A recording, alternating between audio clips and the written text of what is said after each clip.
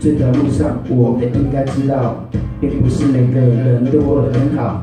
就像阿婆上传到新闻爆料，到最后被人酸，人才在吵闹。宁愿不要当那些被嘴的人，也不要当那些想每次被评论的人。好好的想自己该做些什么，让全世界知道，其实这些我可以做些有意义的事吧。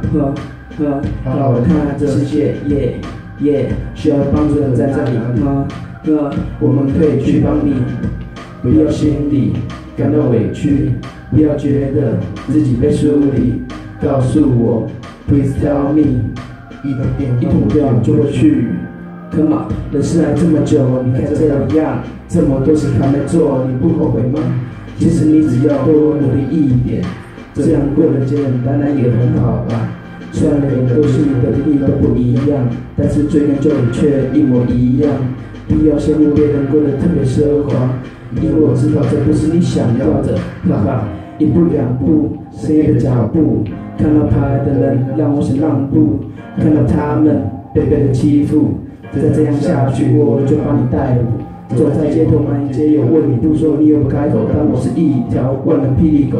工作事业并不是我，露宿街头也不是我，我只想跟他说，台湾请加油！吼。